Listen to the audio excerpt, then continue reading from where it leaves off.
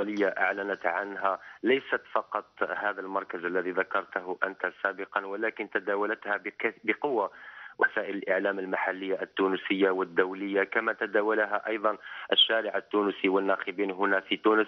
ولكن كما قلنا سابقا كان لنا كلام مع أعضاء من الهيئة العليا المستقلة للانتخابات. وكذلك مع السيد رئيس الهيئة قال بالحرف الواحد بأن كل هذه النتائج التي يتم الإعلان عليها ليست نعم. نتائج رسمية. والهيئة هي الوحيدة المخولة للإعلان على هذه النتائج. تجدر الإشارة بأن الهيئة ستعقد بعد قليل على الساعة العاشرة ندوة صحفية ستزيل كل هذا اللبس وستزيل كل هذه الضبابية وتعلن على النتائج النتائج النهائية. ولكن ولكن إلى حد كبير قيل لنا بأن هذه النتائج هي التي ستعلن عنها الهيئة المستقلة لمراقبة الانتخابات. وتجدر الإشارة كذلك زميلي ناصر أن هذا المعهد الذي كنت تكلمت عنه أنت كان قد كان قد أنذر من طرف الهيئة المستقلة للانتخابات لدخوله في مواضيع أثرت سلبا أو أثرت ووجهت الناخبين خلال العملية الانتخابية. وبالتالي تبقى كلها نتائج آه، ليست رسمية. ولو أنها أكيد. آه، ولو أنها يعني تداولت آه، بشكل كبير هنا. في تونس. نعم أنت تتحدث عن معهد سيغما كونساي المعروف في تونس بتقديمه للدراسات وبعض القيام بعملية سبر الآراء منذ سنوات. ونتذكر النتائج التي كان يتحدث عنها عن إمكانية أن يتصدر يوسف الشاهد للمشهد. وشفنا النتيجة أنه يوسف الشاهد رئيس الحكومة لم يتحصل إلا على 7.5% هناك جزئية مهمة آه، آه، فاهم حبذا لو تحدثنا عنها. هي آه، قصة الوثيقة التي راجت بين التونسيين يوم أمس والتي قيل أنها تتحدث عن توجيه الناخبين الذين ينتمون لحركة النهضة باتجاه التصويت للشيخ مرو أو لقيس سعيد وهو ما نفته الحركة رغم هذا الوثيقة راجت تقريبا الساعة الثالثة والنصف مساء بتوقيت تونس. يعني أليس لها تأثير نوعا ما من أجل توجيه الناخبين؟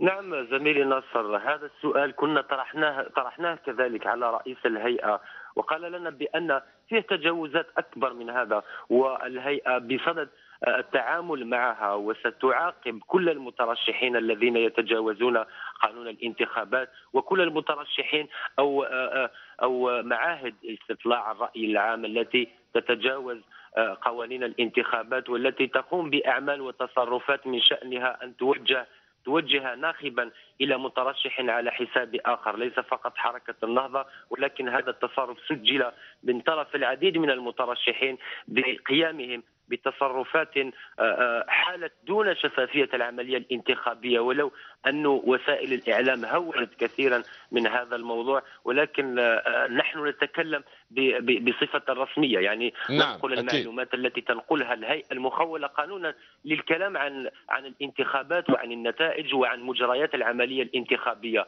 أما المقالات الإعلامية والنتائج التي تعلن عنها معاهد الاستطلاع معاهد استطلاع الرأي العام هنا في تونس تبقى نتائج أولية ولكن التجاوزات آه، التجاوزات سيتم التعامل معها من طرف الهيئة بكل صرامة والنتائج النهائية كما قلت سابقا أذكر بأن الهيئة ستعلن عنها في حدود الساعة العاشرة صباحا في ندوة صحفية يعني ستزيل كل هذا اللبس وتزيل كل هذه الضبابية ولكن ولكن المشكلة الأكبر الآن هنا في, في تونس هو الحديث على نبيل القروي لأنه راح يكون راح يكون خليني نقول زميلي ناصر نعم. صدام يعني بين شرعية قضائية وشرعية شعبية. القضاء في تونس مستقل لكن الشعب اختار نبيل القروي.